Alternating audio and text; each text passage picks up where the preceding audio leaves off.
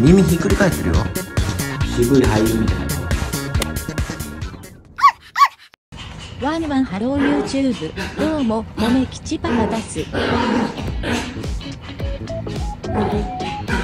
代々木公園のドッグランに行く前の映像だよ。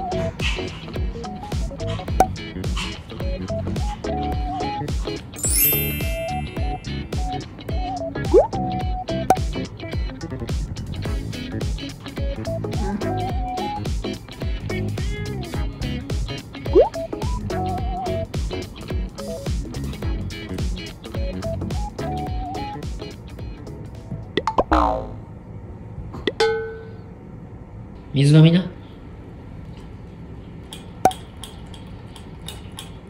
ねえ耳ひっくり返ってるよ。ねえ。ポメ吉耳ひっくり返ってるって。ほら治った？治ったか？何？ご飯狙ってんの？え？何？何その細い目は？なんかなんか渋い俳優みたいな顔してなんでずっとそこ座ってんの？何待ってんの？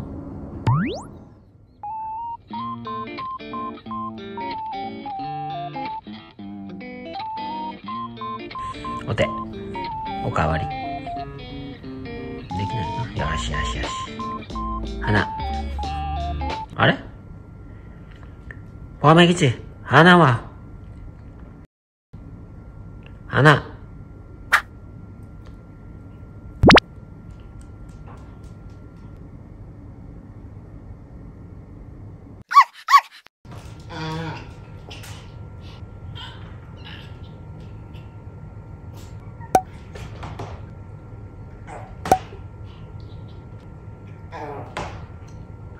遊びたいの？出たい？出たい人？何？え？ドッグラン行く？ライス君と遊ぶ？代々木公園行く人。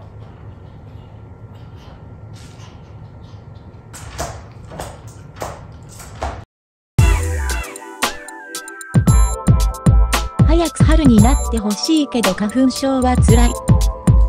では今日はこの辺で。じゃあの。